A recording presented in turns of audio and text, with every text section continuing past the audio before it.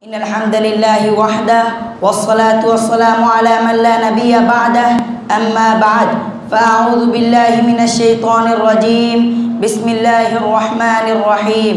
ولقد بعثنا في كل أمة رسولا أن اعبدوا الله واجتنبوا الطاغوت.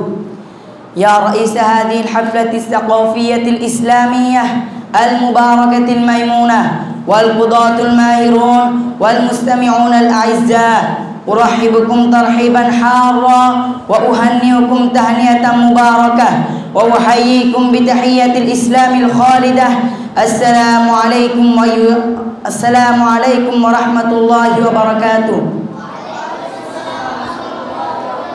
أيها المستمعون الكرام قمت أمامكم لأن ألقي كلمة مهمة حول موضوع الكفر الكفر بالطاغوت. وبتوفيق الله سأبين كلماتي حسب استطاعي إن شاء الله. تعريف الطاغوت لغة لغة من الطغيان وهو تجاوز الحد. شرعا ما تجاوز بالحد حده من معبود أو مطبوع أو مطاع.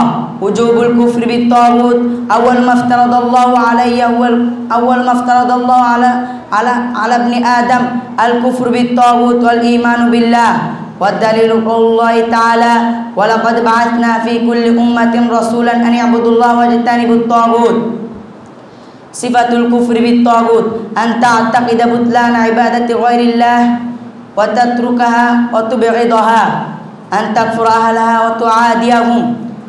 رؤوس الطواغيت الطواغيت كثر لكن لكن رؤوسهم خمس إبليس لعنه الله ومن عبد من دون الله فهو راد.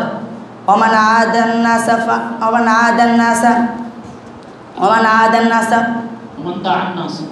ومن دعا الناس إلى عبادة نفسه. ومن ادعى شيئا من عباد ومن ادعى شيئا من علم الغيب.